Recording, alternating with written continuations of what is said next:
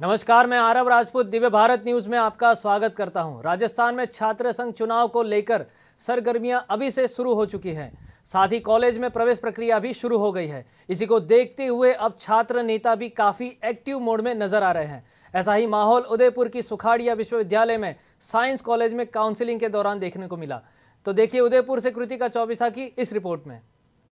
उदयपुर के सुखाड़िया विश्वविद्यालय कॉलेज में अब चुनावी सरगर्मियाँ तेज हो चुकी हैं और माहौल बनता हुआ नज़र भी आने लगा है। ऐसा ही हुआ बुधवार को। मोहनलाल सुखाड़िया विश्वविद्यालय के विज्ञान महाविद्यालय में प्रथम वर्ष के छात्रों की काउंसलिंग के दौरान। इस दौरान मोहनलाल सुखाड़िया विश्वविद्यालय के छात्र नेता भी नव आगंतुक छात्र छात्राओं की मदद करते हुए दिखाई दिए। काउंसलिंग के दौरान कई छात्र नारेबाजी भी करते हुए दिखाई दिए। नारेबाजी के दौरान छात्र नेता और पुलिस के बीच काफ़ी गहमा गहमी भी हो गई।